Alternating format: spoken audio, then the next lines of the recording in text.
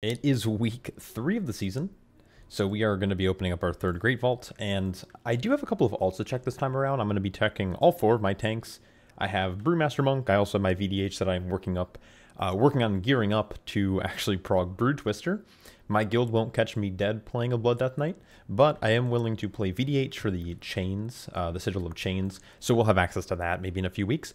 But for the time being, we are going to be probably opening this up as Windwalker. And the reason why is because I was able to full clear Heroic last week. We got to a couple Mythic bosses down as well.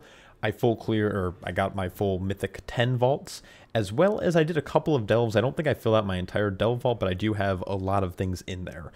Uh, the reason I'm rolling Windwalker specifically, even though I'm a Brewmaster player for the most part, is because I don't think, I think the loot that I'm looking for does come from the raid. Specifically, I'm looking for things like the Nexus Princess weapons, uh, like Void Reaper's Warp Blade. I'm looking for the Queen Ansurek ring, which again does drop for Windwalker. Another thing though I would like is the Mad Queen's Mandate, or the Void Reaper's contract, which only drop for the Windwalker specialization. Now, there are a couple of items from the dungeons that would be cool and convenient, but again, don't really require me to be in Brewmaster spec because Brewmaster is going to drop some like interesting tr tank trinkets that I don't necessarily want or need.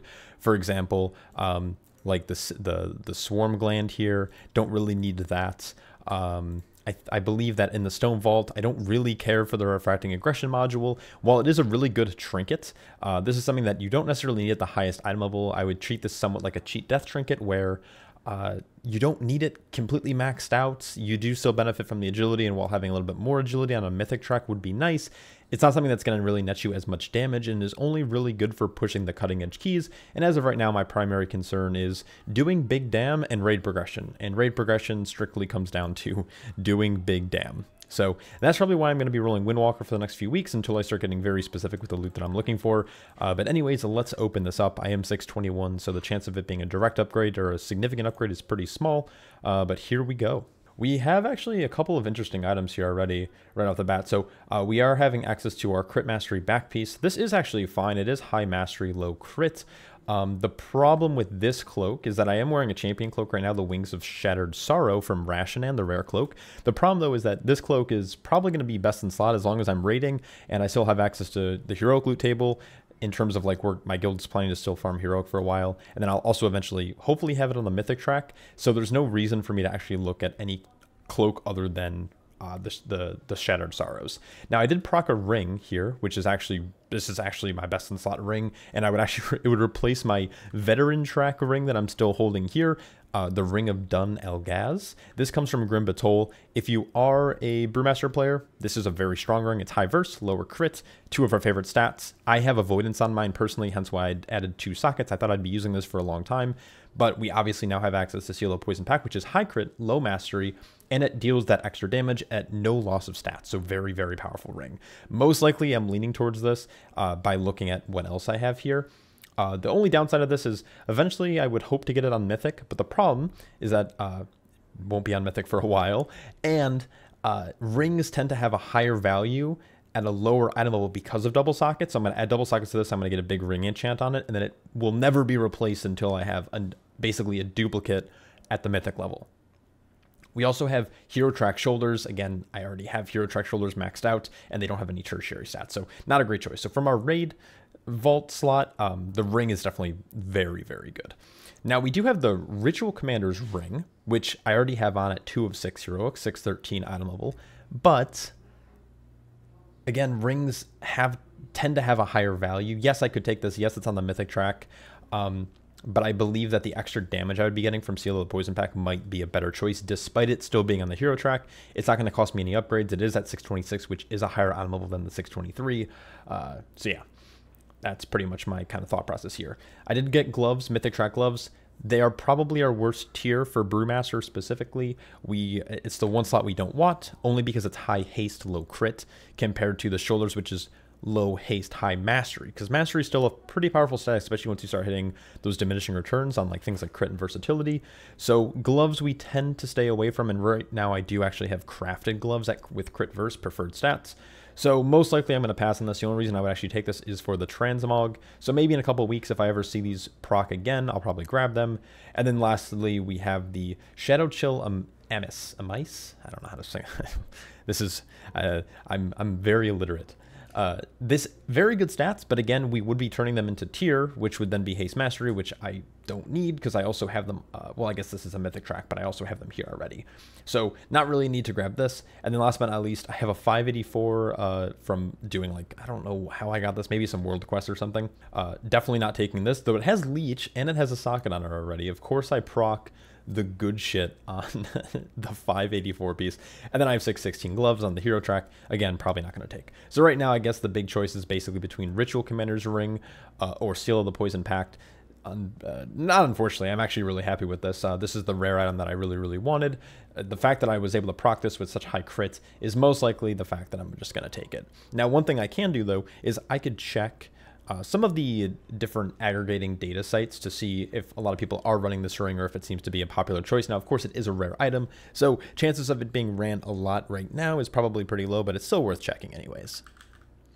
So what I like to do is I actually like to go to a little site called, uh, well, let's start with Archon GG. Ever since Subcreation uh, was kind of acquired by them, there's not really a need for us to look anywhere else. So what that looks like is here, archon.gg. This is actually part of the Warcraft logs, and I think they acquired Subcreation's um, data string or like how they acquire data, the API. But for Mythic Plus specifically, let's look at Brewmaster.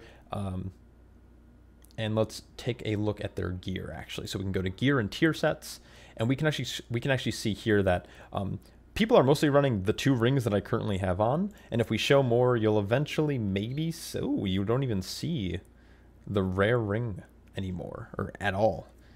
So let's kind of look through this. I'm wondering why that might be actually. You're even seeing like PvP rings being popular. I'm actually kind of curious why people aren't running it. I, maybe because it doesn't have the versatility on it because you you do end up getting a lot of versatility from your from your jewelry slots. So I'm also going to check out Wowhead Wowhead's best uh, BIS lists are actually here. So we have things like we can look at gear, right? And this is this is written by Sinzu, um, who raids for Gur Arfarf Bark or whatever the guild name is. Um, but they are stating here that the best rings from the raid are going to be Seal of Poison Pact and Ritual Commander's Ring. Uh, actually, this is overall Brewmaster Monk best in slot gear, and then it does break down from Raid and Mythic Plus. So you're going to be seeing the Seal of the Poison Pact. And it's also going to recommend the Ringworm, but it's only because these are the only two rings that really drop from the raid. And then in Mythic Plus, they're probably going to be, yeah, so Dun Algaz and Commander's Ring. Those are probably the best. Um, so here's what else is interesting is this is generally another site that I do like to look at, Murloc.io. They do somewhat similar of what Archon GG does, and again, it's just another source. I wouldn't ever take this as like um, a must, but it's definitely something you can, you know, gander at and figure out if it's going to be like worthwhile running. Now, this early in the season, you're probably going to get a lot of the same kind of uh, recommendations for gear. You're going to be seeing a lot of that verse gear coming in. Now, the problem with my current ring setup is simply the fact that I have a 606. So I'm a little nervous to still lose around 2500 versatility, but I think the trade-off is pretty big. And then I can always, you know, gem and enchant specifically for verse. But as you can see here, the breakdown of the stats, you're going to see basically an even split between versatility and critical strike. Critical strike, you want to aim for that, give or take like 13,000. And same with the verse, another 13,000 here. So you're looking at like a 30% critical strike versus um, about that 17%. The thing that I've also been doing lately is I have been flasking for crit, which I can always just flask for verse instead. So that is an option. I think I'm leaning towards the ring though. After looking at the different stats though, I, I really don't know if it's because this is a rare item and when it does drop, maybe it's given to other DPS that, you know, maybe tend to do more nature damage. Now, when I sim this, it's simming about like a 2.5% upgrade, probably because of the stats it's giving, but also because of the, the venom damage that it does do. Now, monks have been leaning a little bit away towards doing nature damage because we're, we dropped things like Chi Wave, we dropped things like Rushing Jade Wind that no longer do that nature damage for us passively. That it's really going to come down to like things like Chi Burst as well as some other tertiary effects through like trinkets. So for example, like the toxic, uh, like the the Flayedwing Toxin, for example. So I think Uh, it's actually kind of a hard decision because I am passing on myth gear for basically a hero track item, and while it is a higher item level, these can eventually go higher. But at the end of the day, I can always craft rings if I get unlucky in the future. Um, and it's a long season, and it's a video game, so I'd rather have the cool rare loot than anything else here. So let's select our Seal of the Poison Pact. Now, we'll, I'll let you guys know in the near future if I end up regretting this decision um, we're going to end up seeing how much versatility I'm going to end up losing by replacing this ring. But again, I'm going to be enchanting with versatility. I'm going to be socketing versatility, and I might be able to swing some of my other stats in a different direction. Yeah, so it looks like I'm going to be losing about 3,000. it's such a big number. I'm going to be losing give or take 3,000 versatility for the benefit of another like 3,000 crits. And again, a little bit of mastery here and there. But if we look, um, once I equip this item, I do drop about 4% verse, which is quite big, but I can definitely make that up by doing a couple different things here. So first things first, we have these magnificent jeweler settings which allow you to socket your items. These are definitely a good pickup. They are quite expensive, so I don't recommend doing it unless you know you're never going to replace that item, which in this case, I don't think I will for a very long time now. Again, it might come down to, wow, I really need that additional 1.5% damage reduction from versatility, and once I have a higher ring of uh, Dun Algaz or whatever it's called, I can probably replace it. And then, so I'm going to be picking up two of those, so these are really good. You can add them to rings as well as necklaces. Something else I can definitely do is I want to get this deadly sapphire. Now, honestly, I could always just make these myself, but I'm going to be picking up probably two of these to put in each socket. This is going to give me a good bit of uh, versatility, as well as a little bit more crit, even though I won't need it because I'm now at 32% crit. And then I want to actually start thinking about replacing the enchants on my gear that are currently giving me crit. So it's basically the two enchants on my ring, or the one enchant now at this point. Uh, I am a little bit of a broke boy, mostly because I've been shuffling around a lot of my gold due to uh, professions on my alts. So I am kind of sitting a little bit lower. I do have about 20k sitting in my war bank at least, so instead of having to log over, I can just do this, which will be a little bit better in the long run. Now, there are some pretty decent enchants I could technically pick up from this vendor or from the from the auction house, but I think what we're probably just going to do for now, just to save a little bit of gold until I can start doing some farming or buy a WoW token is I could just go Glimmering Verse here. Now there's also the Cursed Verse, which has a chance to, it'll sap your mastery for versatility, but this enchant, as you can see, is going for 16,000. Um, and while, you know what, actually, screw it, we're going to say fuck it. I'm going to get one of those, and then I'm going to actually go Glimmering Verse for my other ring. And that should at least bump me up a little bit in the versatility department, maybe back to that 17%, which is exactly what uh, we're getting recommended by uh, Wowhead for, or not Wowhead, um, Murloc.io and these other sites. So what we're going to do is we're going to add our two sockets here. Again, I'm dropping so much money. I shouldn't. I should, it's it's crazy how much gold I'm willing to drop on this just to, for the smallest little smallest little gain. So we're uh, we're now back up to that 17%, which is good. We'll apply this, and hopefully that kicks in. And it looks like we're good. And then what we'll do is we'll add this cursed versatility to our ring as well. I doubt it'll bump me up any higher. So like we were saying, it was like saying around that 13, for, like uh, 13,400. I'm just shy of that. And then we can also replace it on my other ring. So we are now pretty jacked out. I could I definitely need to drop some crits. I can either do that through recrafting my my gloves or I can pretty much. Um, actually, that's pretty much it. I don't know what else I can really replace. Uh, maybe bracers. I think bracers definitely can take a little bit of a change. But yeah, we are now looking really big with this ring. Again, I don't know if it's because it's so rare that a lot of players aren't running it um, in Mythic Plus, or if it comes down to the fact that um, it's actually just maybe not good, and maybe I definitely wasted my my vault. So we're gonna we're gonna find out. So it looks like we can now get heroic crests by spending our normal crest, which is actually really good, which means I can upgrade, you know, any kind of heroic pieces that I still need, which I don't actually think I do. I think everything I need now, no, I guess these require heroic, right? Runed Harbinger. So what I could do is I can then spend again 90 of my normal crests that I'm never going to use again, and I can actually turn these, I can turn 90 into 15. So if I do this, I can actually then now use these. I'll be honest, I don't know what unlocks this. I don't know if it's a specific item level requirement. I think it is. I honestly don't know. But now what we can do is I can upgrade my trinkets. So I can upgrade like my flayed toxin, toxin for example, which actually if I bump this up, it should allow me to now bump this one up for free. Yes, because I already have a 619 trinket in my bag. So now we're sitting really pretty on that. And I don't think I need heroic for like anything else. Oh, I could do this ring, actually. And now I believe I pretty much have 616 or higher in almost, oh, I guess this one I still, oh, we can do this one more time. Let's do that. Now, the the trade-off here is like 90 for 15 is definitely, that's like a 25% trade value or 400%, I guess, uh, whatever, what, however the percent ends up being. But, um, so now I have outgrown these. So now all of my characters can now, um, well, first I can, I can trade them up, but I, all my other characters should now have a crest discount for upgrading their gear because I'm maxed out. I only need mythic crests now going forward, which is good. It's very cool. So when it comes to nature damage, there's a few things that we have going on for us. We have Chi Burst, we have Chi Surge, we also have both of our trinkets that are dealing it. Um, but for the most part, the rest of the things we do is fire damage. Now, I could always go Rushing Jade Wind if I felt like it was worthwhile procking the ring, but I don't think it is.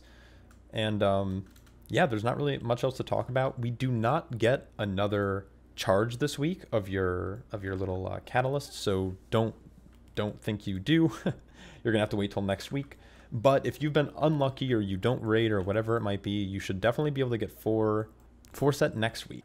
Also, I want to be clear, you do not get another spark this week either, which is something that I just noticed now. You have to, it's normally what they did in past seasons, especially throughout Dragonflight, is that you had a, uh, you had a craft one week and a catalyst the next, and it rotated, which was a kind of a nice little cadence. Like you always got some type of upgrade each week of like a gear that you want. But this time around, you're getting like loaded with the two things at the same time. You get a catalyst charge and you get a, um, a craft, but you have to now wait a week to kind of just chill. Oh, and then another thing too is there is the new trading post. It is October 1st, which is kind of convenient that it, um, you know, overlapped with a reset as well. There are a lot of cool things here. They added like this ebony parasol, for example. It gives you slow fall, actually not a bad thing to have. There's some other cool like weapons, but the big thing is like the ensemble. I think it's very like Halloween themed. I'll probably be buying some of this stuff later, and they they're bringing through some of these like darker kind of colored items for Halloween, which is pretty dope. There aren't a ton of like really cool stuff here. I've always liked these hands. I remember they came out in like Sanctum, Sanctum of Domination. They released some of these, or in uh, the Maw.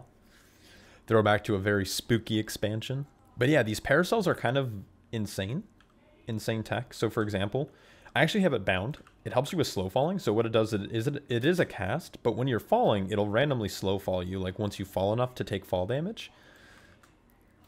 And it actually it's a buff that lasts for um, 15, 15 minutes. So you can grab it, and then it's like, oh, shucks, I'm going far. Boop. And I don't take damage. So if you want to pick them up, it's definitely worth. Like if you're if you're too cheap to buy like goblin gliders, or if you ever find yourself needing them for any type of like dungeon mechanic or anything like that, it's they're pretty useful. All right, though, I'm feeling pretty good about that uh, vault, but let's log over and check our alts. It's really weird. The season has been pretty slow in terms of like, well, the first week of Mythic Plus, it was like go go go, gotta get score, gotta get score, and then when the second week hit, it was like, wait a second, because all the weeks are now homogenized and there isn't a difference between tyrannical and fortified. It was a little bit more tame week two, where I didn't feel like I needed to constantly be doing keys all the time, especially on my main. So this is now kind of the point where I want to start working on alts yeah, it's just a good time to work on alts. Uh, but the thing that I'm definitely going to be working on a little bit more than like my my warrior, my paladin, which I prefer playing, is my demon hunter because my guild will eventually hit Brood Twister, and for Brood Twister, despite the nerfs coming in this week, we're definitely at a point where you still need grips, and I don't really want to play Death Knight, so we're not going to be playing Death Knight at all. Okay, so I'm going to just open this as Prots. I only ended up doing, I think, like a couple of delves on this character, not even enough to fill everything. So I'm pretty much just going to instant take whatever is here, which is a ring. Uh, I'm fine with that. Like a crit haste ring is is fine for like prot warrior DPS. So I'm chilling with this. It doesn't have a sock or anything, but it does replace one of my 590 bands. So what I'm going to do is I'm going to actually just slam this in on one of my fingers, and we're going to just log on over. So I've really been enjoying the Paladin despite it not performing super well so far this tier. I think it plays very, I don't know, it's like a very enjoyable thing to play currently, but it does just underperform a little bit, and also community perception's real down bad, despite them actually, I think, being a little bit better than Brewmaster Monk. I think all tanks are actually fairly balanced right now, which is, uh, Prot Paladin's one of those things where, like, you need a little bit of attention from your healer, you have to kind of pull things differently, and your cadence, like, your route cadence has to be just, like, a little bit better or a little bit more structured. Oh, Prop Paladin is getting a rework in the 11.0.5 patch coming up in a few weeks here. So it's looking a little bit better now. They are more or less band-aid fixes, but there are some quality of life talents being added and also being removed, which is kind of nice. And uh, but anyways, we're gonna just open this up in prot. I didn't really do much on this character again. I just did really delve, so I'm gonna be pretty much grabbing whatever I can. So it looks like I have veteran tier shoulders from a heroic dungeon that I did, and I got an, uh, a big 616 shield. Now, I was actually to end up crafting a shield, but I think for the time being, this actually won't be a horrible choice that I can grab. Uh, plus, it's a pretty cool transmog, so I think I'm actually just going to end up doing that. This gives a fair uh, bit of armor, strength, as well as stamina, so I think the shield's going to kind of take precedence over the tier shoulders. Now, I still have access to the KSM token, which I'll eventually get. Uh, and then I also have two catalyst charges still, and I'll get one next week. So I'm in not really a rush to get any any specific item or like any or, like my tier set, I guess I should say. Um, and I'm only five. Uh, I'm only 598. I haven't really been doing much, but I do eventually plan on getting this tank up and running. Obviously, we just do we do need to fix the transmog a little bit here, which I actually ended up changing the shield to this. I need to save, and uh, yeah, that's it. All right, last but not least, we do have the Demon Hunter. Now, I, I definitely put way more work into my Demon Hunter this last week. I believe, if I'm not mistaken, I pretty much, I filled out my raid uh, with a normal, normal clear. I also did a couple of dungeons and some delves. So I have more than just one vault slot or two vault slots like you saw on my other two alts. Uh, the thing is, Brood Twister, you know, my guild, we're two of eight right now, but we think that Sikran and Rasha'nan will go down probably this week. And then we'll be on Brood Twister. And Brood Twister is, if for anyone who watched the Race to World first, knows that it's going to be, it's a crazy boss. It hardwalled a lot of people. It received a minor nerf and then a major nerf. Actually, the nerf came in today, um, which nerfs like a lot of different components about the fight. But from my understanding, they'd never really changed anything about the, the ad spawning or the positioning, which is kind of unfortunate because the nerfs didn't really address the issue with the fight, which is mostly composition. You need plenty of knockbacks and mass grips to group up the mobs at the frequency that they spawn. Uh, so Death Knight is obviously great for this with Mass Grip, but Sigil of Chains also works somewhat as well. But you would obviously prefer the Death Knight because I think the DH does require a little bit more uh, healing compared to the Death Knight. But I know that we're going to be probably pretty more geared when we go in there. So with that being said, that's why I'm gearing up my VDH. It's not really for Mythic Plus or anything. I mean, I'm going to probably play in Mythic Plus. I enjoyed in Mythic Plus, but um, we're going to actually be opening this as Havoc though. And the reason why is for the same reason I open it up as Windwalker on my on my Brewmaster Monk is that there isn't really any tank items that I really need from the raid or from the one couple of keys that I did. So we're gonna just open this up as Havoc. Now in future weeks I might open it up as Vengeance, but for now we're gonna see what we can get. All right. So a few good things here. Um, of, of course, I am getting just champion gear. So this is probably not something I'd like, though this tier chest would be an upgrade and it completes my 4 set. Um, and while 4 set isn't as impactful for Vengeance as like the Brewmaster Monk, for example, it's still pretty good. The Mercurial Egg is not super great trinket only because of the movement that DHs typically do. And then the Treacherous Transmitter, while it is a lot of haste, um, and agility. It's like on this awkward minute and a half cooldown, which isn't necessarily super great. Um, especially on the champion track.